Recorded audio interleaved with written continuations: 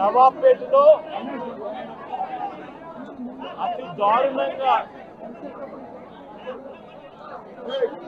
కేవలం ఆధిపత్యం అన్నది చాటడం కోసం ఒక పథకం ప్రకారం అక్కడ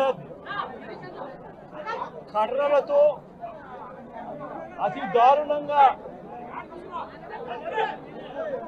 దాదాపుగా ఇరవై మంది కలిసి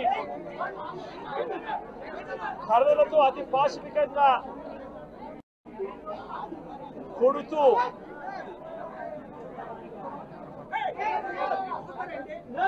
చివరికి హాస్పిటలైజ్ అయి తీవ్రమైన దెబ్బలతో వాళ్ళు హాస్పిటల్లో ఉంటే ఏం సాధిస్తా ఉన్నారు చంద్రబాబు నాయుడు గారిని అడుగుతా ఉన్నాను మీరు చేసే ఈ కిరాతకాలు ఈ దారుణాలు వాళ్ళ ప్రజలు ఏమన్నా భయపడతారు అనుకుంటున్నారా? ఎవరు భయపడరు. ఇది ఇంకా కోపంగా మారుతుంది. ఇది ఇంకా కోపంగా మారి చంద్రబాబు నాయుడు గారిని తెలుగుదేశం పార్టీని రెండింటినీ కూడా బంగాళాఖాతంలో కలిపే పరిస్థితులు కూడా దారితీస్తాయి.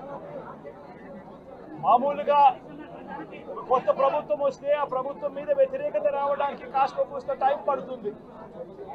కానీ మొట్టమొదటిసారిగా చూస్తా ఉన్నాం చంద్రబాబు నాయుడు గారి మీద వ్యతిరేకత అన్నది చాలా ఫాస్ట్గా పెరిగిపోతా ఉంది. నిజంగా ముఖ్యమంత్రిగా ఉన్న వ్యక్తి గవర్నెన్స్ మీద ఫోకస్ పెట్టాల్సింది పోయి ఏం చేస్తా ఉన్నాడు అన్నది ఒక్కసారి తనను తాను ప్రశ్నించుకోవాలి అని అడుగుతా ఉన్నా. ఈరోజు రైతులకు సంబంధించి వ్యవసాయం పూర్తిగా ముమ్మరంగా సాగుతా ఉన్న పరిస్థితుల్లో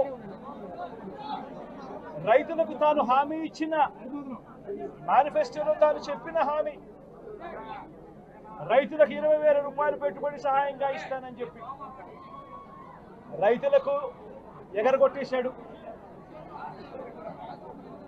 ఇవ్వాల్సిన రైతు భరోసా సొమ్మును కూడా ఇవ్వకుండా ఎక్కువ చేసి ఇస్తానన్న రైతు భరోసా సొమ్మును కూడా ఇవ్వకుండా రైతులకు మోసం చేశాడు. పిల్లలు బడులకు పోతా ఉన్నారు. ఎంతమంది పిల్లలు బడులకు పోతా ఉన్నారు అన్నది అందరికీ తెలిసిన లెక్కలే. ప్రతి సచివాలయంలోనూ ఎంప్లాయీస్ ఉన్నారు. మండల ఎడ్యుకేషన్ ఆఫీసర్లు ఉన్నారు. అయినా కూడా తల్లుళ్ళు మోసం చేస్తూ అమ్మఒడి ఎగరగొట్టేశారు.